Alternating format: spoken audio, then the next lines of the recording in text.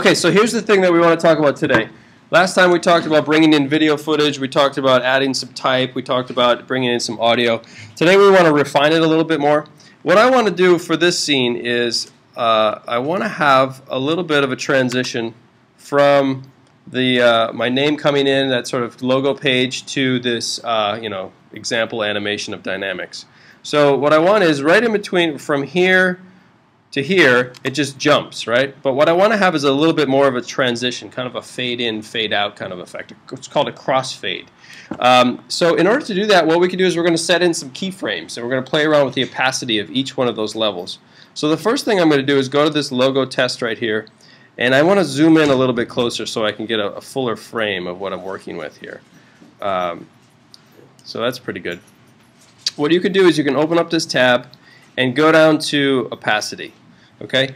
Now, if it's uh, you know if we bring this down to zero, it's black, right? If we bring it up to 100%, uh, it's full render. What we want to make sure though is that these two areas overlap each other. Okay. So this uh, scene right here is overlapping this one. Okay. So in order to do this, we want to sort of make sure that those two things are, are working properly. So I'm just going to take this actually and drag it over a little bit more so that it's lined up a bit.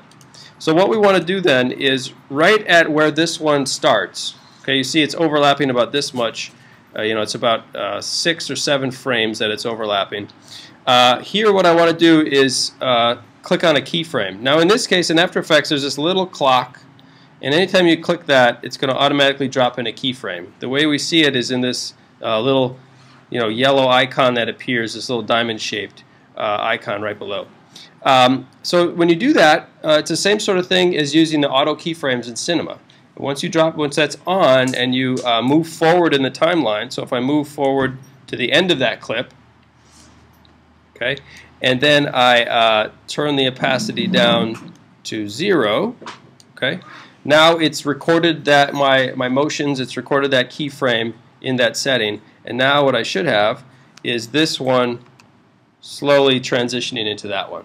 Okay, you see how before it was just a quick jump, and now what I have is a smooth transition, kind of cross fading in from my name to that other image below it. Okay, and the reason what so what it's happening is you're just changing the opacity from 100% to zero over the course of that time, and uh, and it's allowing the the frame, the video underneath to show through.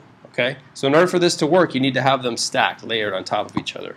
Uh, but that's just a really simple way of um, of editing those scenes. You know, you drop in those basic keyframes, and then uh, and, and, then uh, you can allow it to to cross into another one.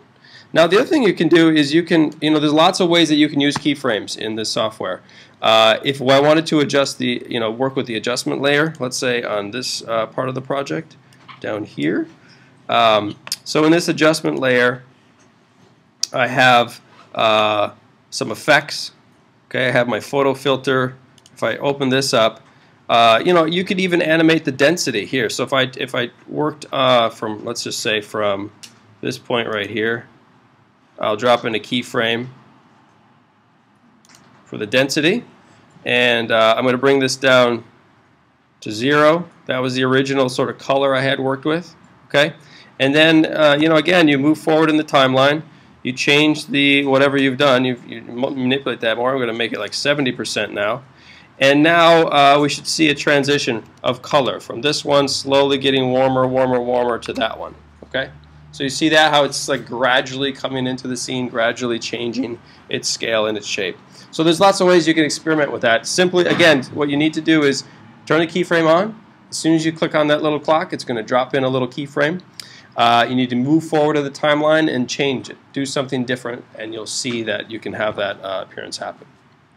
So we can talk further. There's lots of ways that you can use keyframing in this project, uh, but for now, I think those are just some simple ways that we can deal with transitions and also manipulate uh, the effects sort of coming in and out of the scene. Okay, so once we get this all finished, once it's all rendered and, and uh, not rendered, but once it's all put together and, and, and uh, edited how you like, we need to render this out. Okay, uh, in order to do that, uh, we go up to Composition and then just click on Make Movie. Uh, I'm sorry, not Make Movie. What do I want here? Add to Render Queue, that's what I want. Click on Add to the Render Queue and uh, let's try that again. Sorry, guys. Just click Add to the render queue, and what's going to happen is uh, you're going to get. Now I have a million of these things up here. I don't want that. delete this one. Delete this one. Okay, so here's my uh, my uh, my video. It's called. You know, it's going to name it whatever you want to name it. You can change the name if you want to, uh, and you can. Um, label it something different. What you want to do is just there's three basic things you want to work with. You want to make sure that first uh, the best settings are, are on. Uh, you can uh, you can hear you can click if you click on the little on the name best settings you can check it out. Uh, you want the full resolution. 1280 uh, by 720 or whatever resolution you're working with. Just make sure that you have that at uh, at the native resolution and also 30 frames per second. Okay, so those are the few things we want to check there. The other thing is that um, we want to change the output. So right now it's lossless, and uh, we want to change this uh, to, hold on, let's do this, it's easier. Uh, from lossless with alpha to H264. It's just going to be a, a, a, quicker render for us. It's also going to be compressed a little bit so it won't take up as much room and we can put it on the shared drive. And then finally, um, the thing to do is to click here and to just name it something and save it somewhere. So I'm just going to call this uh, test After Effects uh, and save it. Okay. Now, in order to make this, in order to render this, you have to go up here and click Render. Okay. And what it's going to do is going to calculate uh, your project. Uh, you see, it's rendering pretty quickly, a lot faster than uh, Cinema 4D, right? Uh, it's going to go through the whole thing, and once it's um, uh, completed its render, it'll save the file to where you've de designated it, and you'll have your video ready to go. Okay. So uh, essentially, you just need to you know work with your edits. You can preview all your edits, make sure everything is good. Once you're once you're done with it, you add it to the render queue.